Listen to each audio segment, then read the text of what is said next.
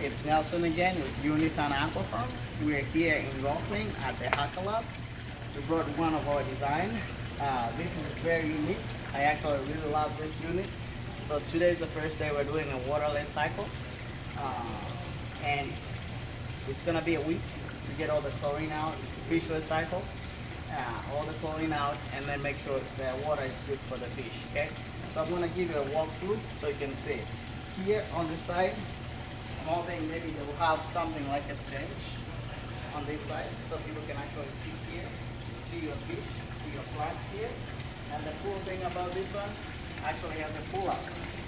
So you can pull like that while it's still draining as you can see the best part about it. And you can climb up here. You feed your fish, you take care of the fish. In most cases you have an automatic feeder here.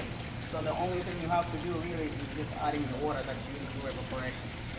So this here we're planning to have uh, this is gonna be a medium, so it's not too heavy, but it's still rolling even with just water as you can see. So this is gonna have a hydroton.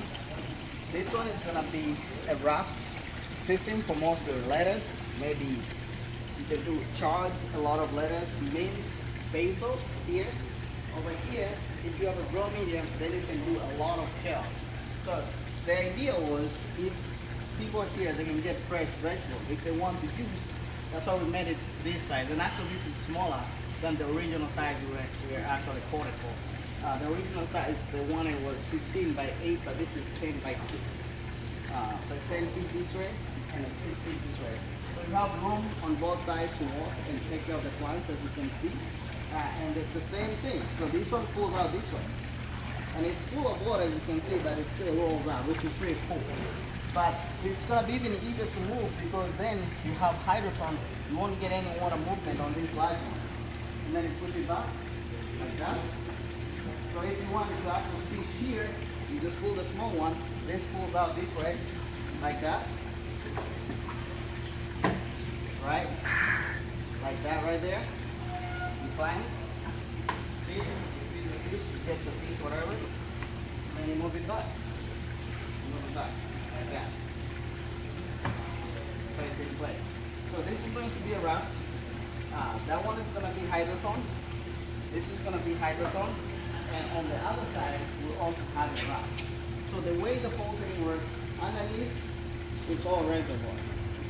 Uh, where all the fish waste goes and gets filtered. And then gets pumped back up here to be consumed by plants. So all the plants will be here. Look for my other videos here, below me so you can see how the whole concept works. So here we'll have the bell siphon. That's going down to the reservoirs.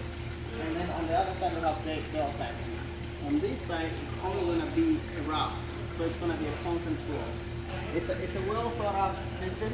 Uh, I hope it stays here. But you guys can uh, actually uh, keep in touch with us to let you know where you can actually go and see it in person. So my other thought was if we don't have enough fish density on the aquarium, we could use this one as a fish uh, also. Because then it's in the pond, right? So you see fish there, you see fish there. Can you put a beautiful pond over here and then have ponds all around it, which is gonna be good because it's gonna block some of the sun from the other side. And then it's a good fit, as you can see. So uh, bell siphon, the other side bell siphon, constant for for raft. Uh, you can go a good amount of space here, a lot of plants. So I'll say one and a half feet, close to two feet. Yeah, and then you have eight feet. And then you have two more feet, which makes it 10. So ideally, you're looking at four feet and then two feet. That's six feet. And then you're here, you have enough space.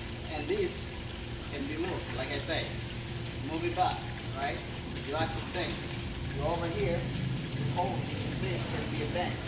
You sit over here, looking at your fish right in. Thank you, YouTubers. Uh, please comment, subscribe, and wait for more content from us. Thank you.